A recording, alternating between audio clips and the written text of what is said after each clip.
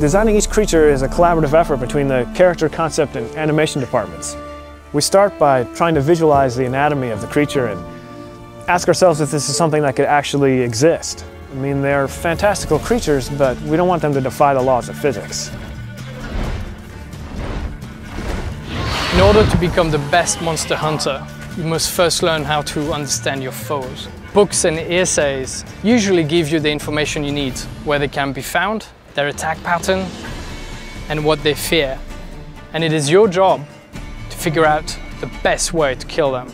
Geralt has a lot of tools available at his disposal for fighting enemies in The Witcher 3. His steel sword, for instance, is used primarily for fighting human opponents, and his silver sword, which he uses for fighting monsters. Geralt can also use a crossbow for fighting ranged or flying foes that are trying to keep their distance from him. Crossbow is also very useful for fighting underwater against swimming monsters, such as the Siren.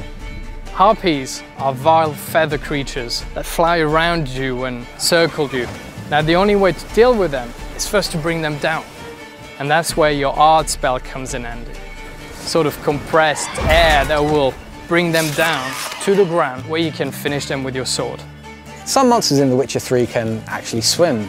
These can attack the player while he's in the water and even go as far as attacking his boat. This can be really dangerous for the player if the monster has a natural affinity for water, such as the Drowner. Drowners are creatures that live in swamps and will snatch at anything that comes near their ponds. And these particular creatures absolutely hate fire and they fear it. And that's where your Igni spell flame that bursts out of your hand comes in handy. And that is the best way to kill them. With the werewolf, a bomb filled with silver powder will take away his regenerative abilities. This will make it much easier for the player to defeat him after. The player can use weapon oils to coat his weapons that will make them do enhanced damage against specific enemy types.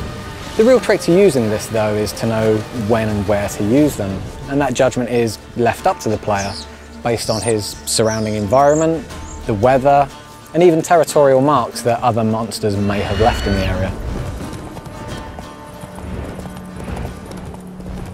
So we've created this complex behavior system in the game that actually allows these creatures to live in the world that they inhabit.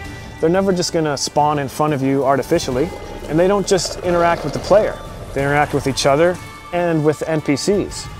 We've created a unique ecosystem that includes monsters, animals, and humans, all living together, fighting, trying to survive, and you are merely a spectator.